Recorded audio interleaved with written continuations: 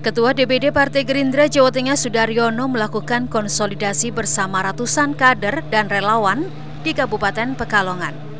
Konsolidasi ini bertujuan agar dirinya mendapat dukungan penuh dari relawan untuk maju sebagai calon gubernur Jawa Tengah. Usai melakukan konsolidasi, ratusan kader dan simpatisan Partai Gerindra melakukan deklarasi yang intinya siap memenangkan Sudaryono sebagai gubernur. Sudaryono menyebut dirinya mengapresiasi banyaknya dukungan dari berbagai wilayah. Selain kader dan simpatisan, ia juga diperintah langsung oleh Ketua Umum Partai Gerindra Prabowo Subianto.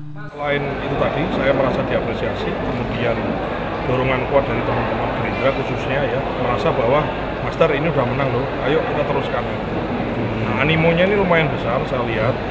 Saya juga tidak ingin mengecewakan teman-teman semua. Selain itu juga dari Gerindra Pak Prabowo sendiri sudah semacam memberikan perintah kepada saya untuk menseriusi uh, pencalonan gubernur ini. Artinya ada perintah Artinya dari apa? Prabowo ya Pak? Ya ada, ada. Ada perintah ya? Nah. dan siap untuk maju ya. Ya insya Allah. Yakin ya. Kita ikhtiar, kita ikhtiar. Ya. Sudaryono menambahkan bahwa dirinya yakin bisa memenangkan kontestasi pemilu gubernur pada November mendatang. Saat ini yang ia lakukan adalah terus melakukan konsolidasi ke seluruh wilayah di Jawa Tengah. Ari Himawan, Kompas TV, Pekalongan, Jawa Tengah.